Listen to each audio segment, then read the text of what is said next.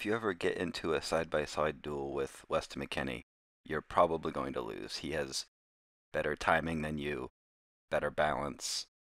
He's uh, quicker, just generally more athletic, and he eats foods that are very likely of a significantly higher caloric density than the foods you eat. This all combines to put him at a distinct advantage.